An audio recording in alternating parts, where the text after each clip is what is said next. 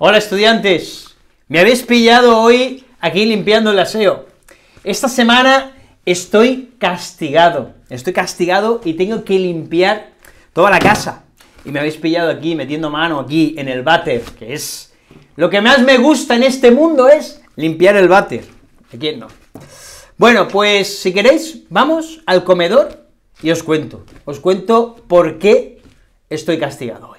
Ha sido una tontería una tontería de nada, si es que... pero bueno. Bueno, vamos al comedor y luego sigo limpiando. A ver, a ver, el caso es que María me ha castigado. María me ha castigado, mi mujer, porque resulta que ensucié la cocina después de que ella limpiara. Y entonces, pues se puso, se puso hecha un basilisco. Se enfadó mucho, estaba muy alterada, vamos. Yo nunca la había visto, nunca la había visto tan enfadada. Daba unos gritos, yo creo que la oyeron en toda Tarragona. En toda Tarragona, total, porque ensucié la cocina después de que ella limpiara. Pero bueno, a ver, eso le puede pasar a cualquiera, ¿no? Tampoco es tan grave, vamos, digo yo, sé que no da gusto, yo entiendo su racionamiento, lo entiendo perfectamente, sé que, bueno, es molesto, a nadie le gusta eso, ¿no? Pero bueno, es que ella se puso, se puso, me gritaba, hecha una histérica, parecía una bruja, y, total, ¿por qué ensucié después de que ella limpiara? Vamos, yo creo que eso tampoco es para tanto, vamos, digo yo. Además, ella comió después de que yo hiciera la comida, y yo no me enfadé, no me cabreé, no me puse hecho un basilisco, no me alteré lo más mínimo. Eso es lo que pasa, tú haces la comida y después te la comes. Y es lo normal, si es que es lo normal. Yo no estoy diciendo que, que se ponga contentísima si yo mancho la cocina, pero tampoco que me castigue y ahora tenga que limpiar toda la casa, toda la casa, ¿no? Ella comió después de que yo hiciera la comida, y bueno, yo pues lo veo normal, ¿no? Si la comida la hago para que se la coma alguien, si uno limpia para que después las cosas se ensucien otra vez, ¿o qué pasa? ¿Voy a limpiar algo y va a estar toda la vida limpio? ¿Voy a hacer la comida y nadie se la va a comer? Bueno, pues oye, yo ensucié después de que ella limpiase, pero ella se comió la comida después de que yo le hiciera. Yo no la castigué, yo no me cabreé, yo entendí, entendí que después de hacer la comida uno, pues nos la comemos, es lo normal, ¿no? ¿O qué? ¿Qué vas a hacer? ¿Vas a encuadernarla, vas a hacer un marco, la vas a colgar, la vas a poner en la estantería ¿qué vas a hacer con la comida si no comértela? Vamos, digo yo. Así es la vida. Haces la comida y después te la comes. Adelgazas haciendo dieta y después, cuando dejas la dieta, engordas. Así es la vida. O sea, en fin, ya me gustaría que fuera de otro modo, pero, no sé, son cosas que todos aceptamos eh, implícitamente es, la vida, es la propia vida, es el resultado de vivir, de tener experiencias, de, en fin, de, de esas cosas, ¿no? Mirad una cosa, hablando de las dietas. Yo una vez hice una dieta, ¿vale? Quería perder kilos e hice dieta. Resulta que engordé antes de que hiciera la dieta. Claro, pensé, bueno, como voy a estar un tiempo comiendo muy poco, comiendo mal, comiendo cosas que no me gustan mucho y privándome de otras que sí me gustan, pero engordan, pues engordé antes de que hiciera la dieta. Bueno, resulta que hice la dieta y engordé también. Yo no sé cómo hice la dieta, que yo engordé. Engordé antes de que la hiciera y engordé mientras la hacía. Y luego, cuando dejé la dieta, pues resulta que engordé después de que hiciera la dieta. ¿Sabes? Una cosa, una cosa de locos al final, pues, pues pesaba 20 kilos más de antes de que hiciera la dieta. ¿Por qué?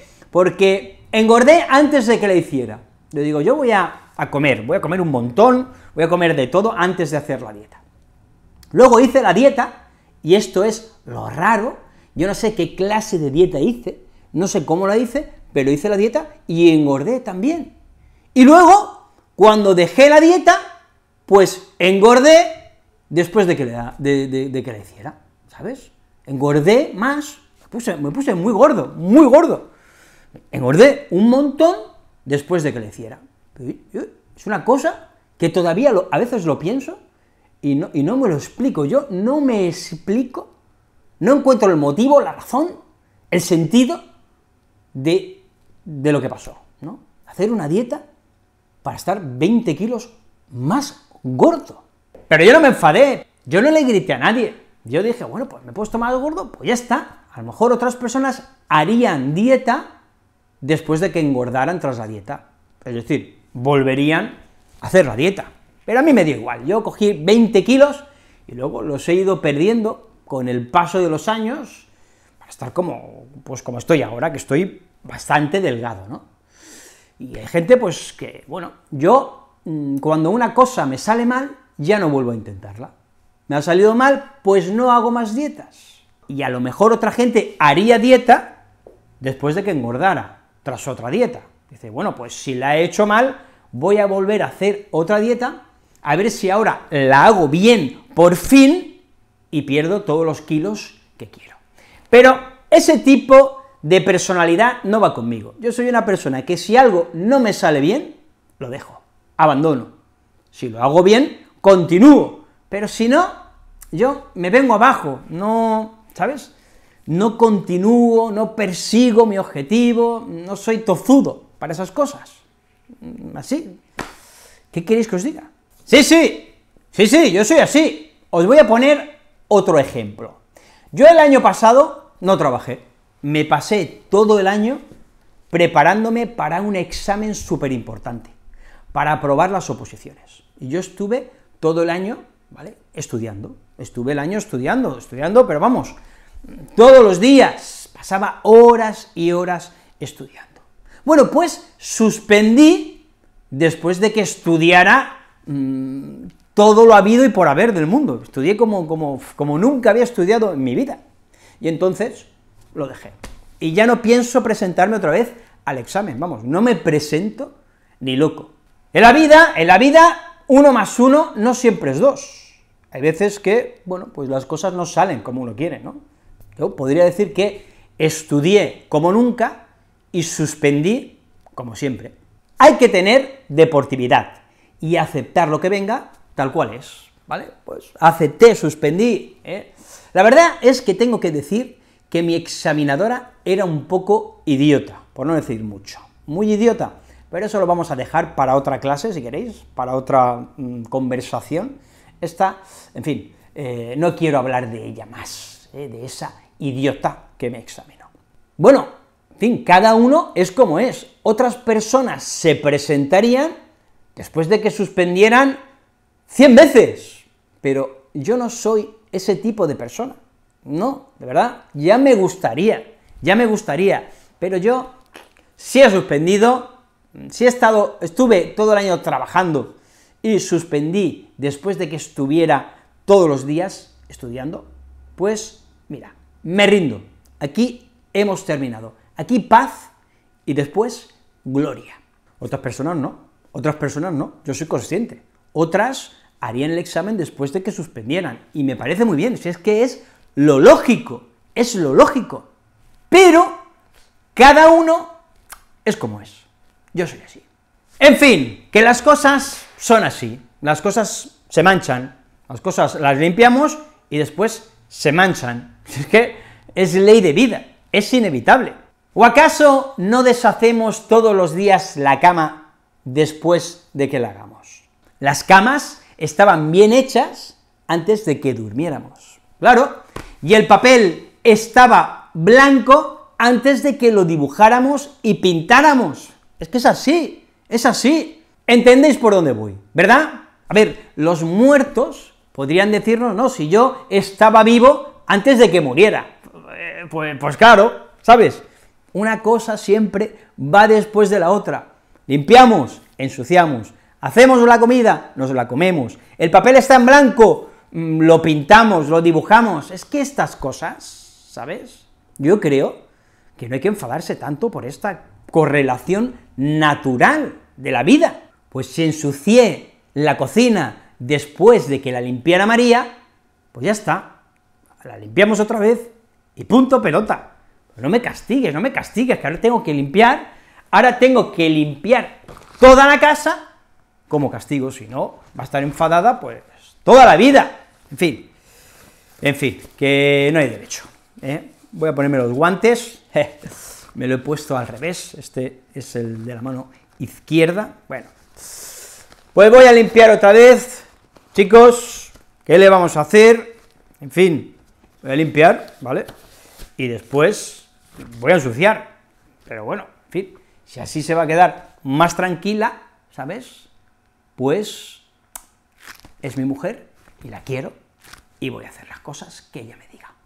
Mm, necesito arreglar esta pequeña crisis doméstica que hemos tenido. Y, bueno, la clave, ¿cuál es la clave? Pues limpiar toda la casa. Así que, bueno, estudiantes, os dejo y voy a seguir limpiando el aseo, que es una de las cosas que más me gusta hacer de, todas. Bueno, en fin, en fin, en fin. Bueno, pues ahora que he terminado, ahora que he terminado de limpiar todas las cosas, os diré, hemos trabajado en esta lección, bueno, la casa está como los chorros del oro, ¿eh? como los chorros del oro, nunca ha estado tan limpia la casa como ahora. No hay nada como una buena bronca a veces, ¿eh? para, bueno, eh, intentar hacer las cosas mejor. Nosotros hemos visto oraciones subordinadas temporales de anterioridad y de posterioridad, ¿vale? Hablaremos de anterioridad cuando decimos eh, limpié antes de que viniera, es decir, hice esa acción, limpiar, antes de otra acción, ¿vale? Y hablaríamos de posterioridad si yo digo limpié después de que viniera, es decir, que eh, primero ella o él vino y entonces yo limpié, ¿vale?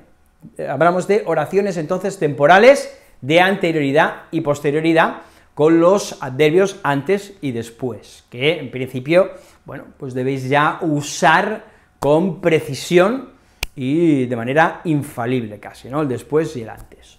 Bien, vamos a utilizar siempre el imperfecto de subjuntivo cuando la oración esté en pasado. ¿eh? Yo limpié antes de que llegara, yo limpié después de que llegara, la primera frase, la frase principal, está en pasado, por lo tanto, la segunda frase o subordinada en subjuntivo irá en imperfecto. Yo podría utilizar también el condicional, pero en ese caso estaría hablando de una suposición. Yo decía ¿eh? en la primera parte del vídeo, algunos, algunas personas harían la dieta después de que engordaran, ¿vale? Y esto es una suposición, yo estoy suponiendo, yo estoy suponiendo que algunas personas harían eso, ¿vale? Pero esto forma parte de, mm, podríamos situarlo en el tiempo, bueno, quizá en el futuro, pero en cualquier caso es una suposición, estoy hablando de algo irreal, algo que podría suceder o no, pero que entraría dentro del campo de la suposición.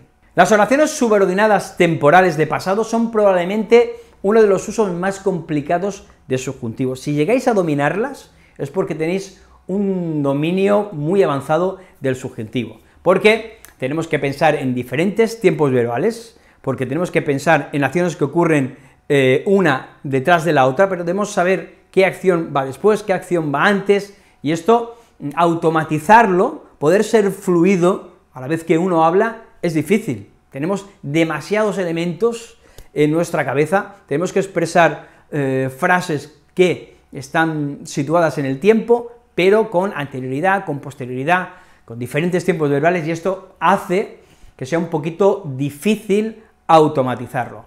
¿Cómo podemos automatizarlo? Pues escribiendo muchas frases, ¿eh? haciendo muchos ejemplos. Esta es la mejor forma en la que, bueno, podemos adquirir fluidez y este tipo de oraciones subordinadas temporales no nos van a parecer tan extrañas si las usamos y escribimos de continuo con ellas. Bueno, podríamos hacer, por ejemplo, durante dos semanas, escribir 10 frases todos los días.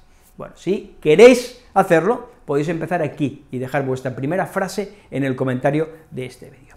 Si os ha gustado además, le das al like, compartís, os suscribís y nos vemos la semana que viene. Recordad, la vida puede ser maravillosa, nos vemos pronto, que seáis felices. ¡Chao!